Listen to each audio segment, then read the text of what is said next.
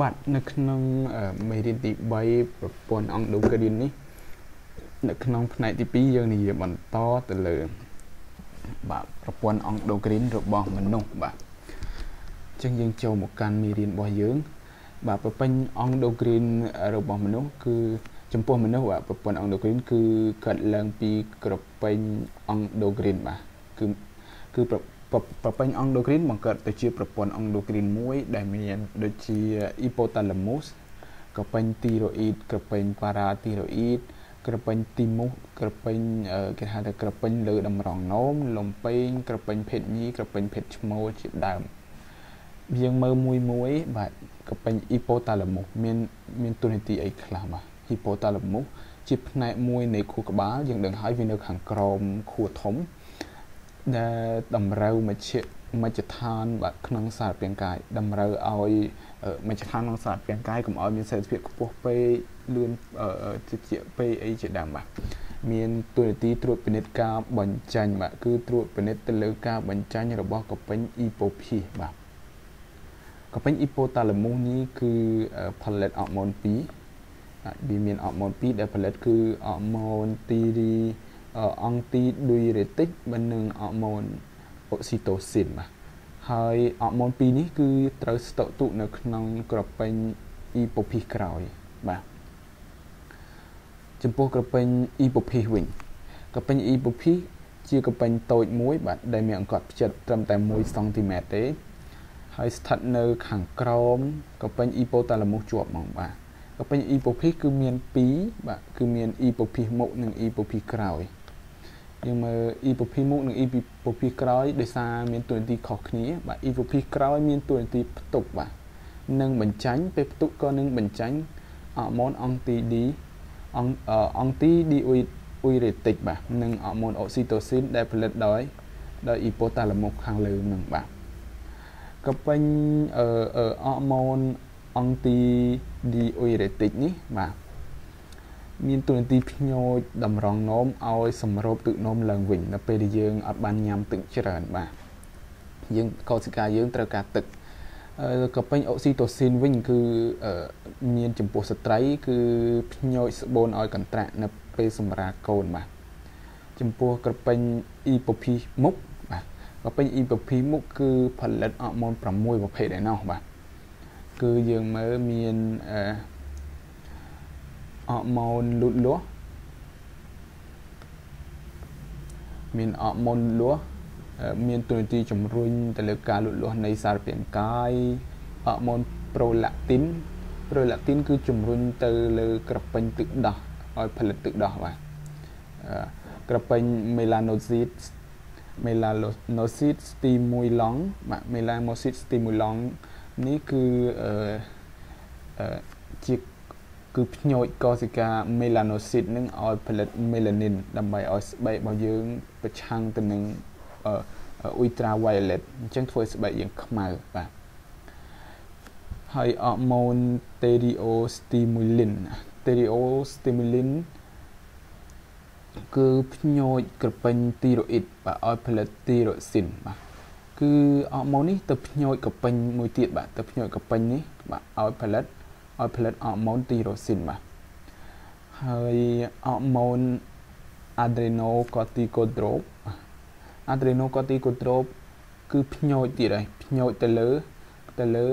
កតតិចលើតម្រងនោមទៅលើក្រពេញកតតិចលើតម្រងនោមឲ្យផលិតអីគេឲ្យផលិតកូទីសូលបាទចំពោះអរម៉ូនកូណាដូស្ទីមូលីនកូណាដូស្ទីមូលីនគឺបាទគឺនឹងអរម៉ូនមួយទៀតយើងហៅថា អរម៉ូនអឺ LH ឬក៏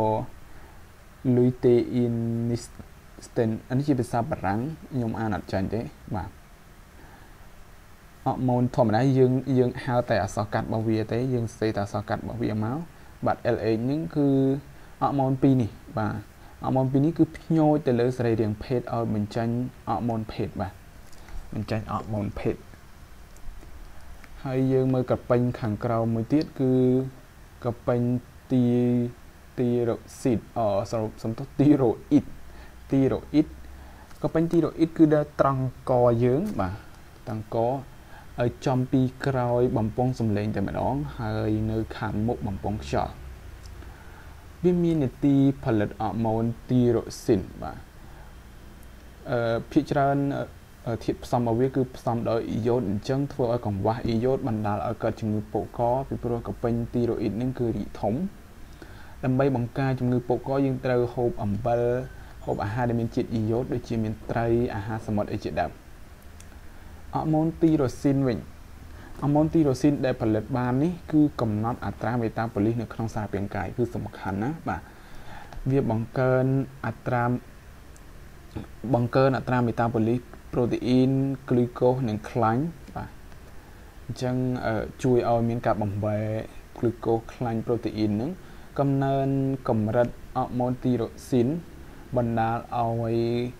កំណើនអត្រាដំណក់ដង្ហើមកោសិកាបាទធ្វើឲ្យកោសិកានឹងផលិតធម្មពលច្រើនហើយคล้ายជាសកម្មខ្លាំងបាទអញ្ចឹងច្រើនពេកក៏វាមិនផ្ដល់ផលល្អណាស់ដែរបាទ ដូចនេះក៏ពេញទីរ៉ូអ៊ីតគឺតម្រូវអត្រាមេតាបូលីកកោសិកានឹងបន្ថយកម្រិតកាល់ស្យូមនៅក្នុងឈាមបាទអឺវាយើងនិយាយឲ្យស្រួលស្ដាប់គឺបង្កើនតម្រូវមិនមែនបង្កើននេះគឺតម្រូវកន្លែងនេះគឺតម្រូវអត្រាមេតាបូលីសរបស់កោសិកាប៉ុន្តែក៏ជួយបន្ថយកម្រិតបាទកម្រិតកាល់ស្យូមនៅក្នុងឈាមបាទអញ្ចឹងធ្វើឲ្យកាល់ស្យូមក្នុងឈាមថយចុះបាទ បើសិនជាយើងមើលរូប diagram នេះបាទយើងអឺនឹងស្គាល់នឹងគឺជាកពេញគេហៅថាអឺពេលកពេញមួយអញ្ចឹងវាអឺ diagram ខាងក្រោមគេថាអំពើរបស់អរម៉ូននៃក្រពេញអ៊ីពូភីណាអឺវាតូចពេកខ្ញុំប្រួលវាឲ្យតូចតិចក៏បានដែរបាទ អ៊ីក្រពេញអ៊ីពូភីនឹងគឺមានផលិតអរម៉ូន6បាទជាងសង្ខេបមើល ADH បាទគឺបាទភ្ញូចទៅលើទៅលើតម្រងនោមគឺឲ្យសម្រូបទឹកនោមឡើងវិញបាទសម្រូបជាតិទឹកសំទោសសម្រូបជាតិទឹកបាទសម្រូបជាតិទឹកដែលនៅក្នុងតម្រងនោមហ្នឹងហើយ MSH គឺផលិតជាតិពួរមេឡានីនហើយ LH សម្រាប់ ជាអរម៉ូនលូតលាស់ដើម្បីធ្វើឲ្យមានការលូតលាស់បាទហើយអឺអរម៉ូន ACTH អរម៉ូននឹងគឺទៅភ្ញោចក្រពេញកក់តិចលើតម្រងនោមបាទឲ្យផលិតកូទីសូលបាទឲ្យផលិតកូទីសូលហើយប្រូឡានីនអឺប្រូឡានីនគឺ